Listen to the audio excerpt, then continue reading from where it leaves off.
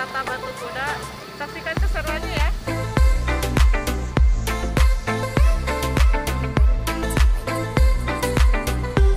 Di area wana wisata Batu Kuda ini, kita bisa menikmati segarnya udara dengan hamparan pohon pinus yang rimbun. Di sini juga Anda dapat melakukan piknik bersama keluarga, camping, family gathering, hingga hiking melewati rute yang menanjak. Di area wana wisata Batu Kuda juga terdapat pohon kopi. Kopi Manglayang memiliki cita rasa yang khas, tanaman kopi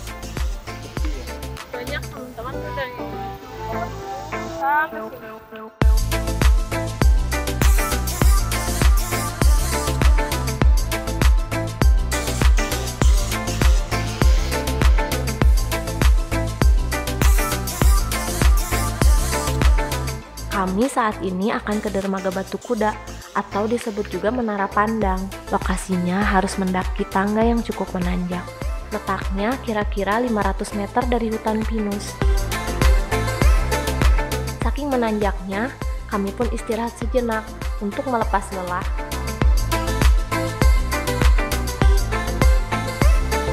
Setelah istirahat, kami pun melanjutkan perjalanan menuju dermaga Batu Kuda.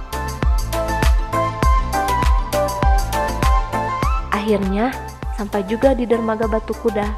Rasa lelah pun terobati dengan indahnya hamparan kota Bandung dan sekitarnya secara langsung. Kami sangat menikmati pemandangan di sana, sambil mencicipi makanan ringan yang ada di warung dekat dermaga Batu Kuda.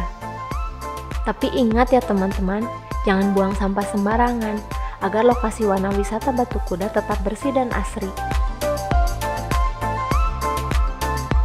Terima kasih yang sudah menyaksikan. Jangan lupa like, komen, dan subscribe.